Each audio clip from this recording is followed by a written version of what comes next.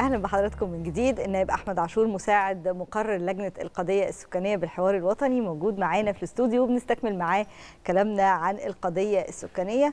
قبل ما نطلع الفاصل كان أحمد بيتكلم عن إن العيل بيجي برزقه. دي من الحاجات المطروحة دايما. ما بين إن العيل بيجي برزقه والأسعار نار ومعايا خمس ست عيال مش عارف أربيهم هوكلهم منين. دول ما بنبقاش عارفين لما الناس تقول الكلمتين دول. يا أخي أنت إزاي متناقض في كلامك كده؟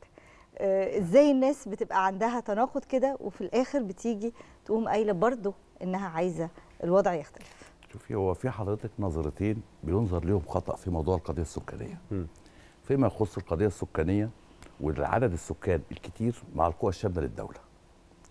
وعدد السكان أو حرية الفرد في إنه ينجب العدد اللي هو عايزه. في ناس بتنظر ليه إن الدستور بيقول حرية. حلو. أنت حر ما لم تضر. بالظبط. هنا بقى بنقول إيه؟ إن حرية الشخص لو تعارضت مع المجتمع أو مع حرية الجماعة يبقى ما أصبحتش حرية. بقت أصبحت حرية مقيدة. فلما يجي حضرتك يكون الزيادة السكانية تصل للدرجة اللي الدولة مش هتستطيع قصادها إنها توفر الخدمات الأساسية للمجتمع يبقى أصبحت إن القضية السكانية قضية أمن قومي. قضية أمن قومي. يمكن أنا في أحد اللقاءات شبهت القضية السكانية وكثير من المتخصصين بيصفونها قضية أمن قومي. صحيح. لأن لما يزيد عدد السكان بالدرجة اللي لا تستطيع الدولة إنها توفر الخدمات الأساسية للمواطنين مش هيبقى في دولة. يبقى كده كلنا تضررنا.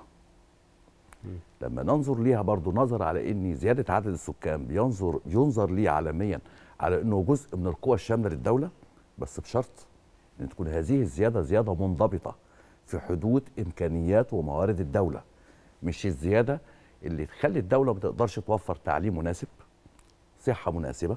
إحنا عندنا 50% عجز في المستشفيات. عندنا حضرتك ال- المبلغ اللي داخل في الوقت اللي الدولة فيه كمان بتتجه لمظله تأمين صحي شاملة تأمين علشان صحي تقدر شامل. تقدم مزيد من الدعم الصحي. بالظبط. فلما نيجي نجد حضرتك إن الدولة هنا مش هنكون زيادة السكان من منطلق القوى الشاملة للدولة لا ده هتضعف أداء الدولة.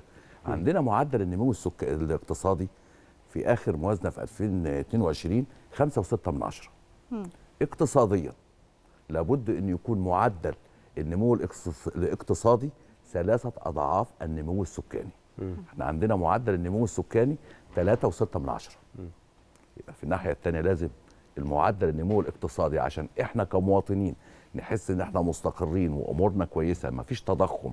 متوسط نصيب الفرد من الدخل القومي ومن المية ومن كل ما هو موجود داخل الدولة عالي لازم أن يكون معدل الزيادة النمو الاقتصادي ثلاثة أضعاف معدل النمو السكاني. صحيح. يعني اضرب 3.6 من عشرة في 3 بنتكلم في حوالي 11%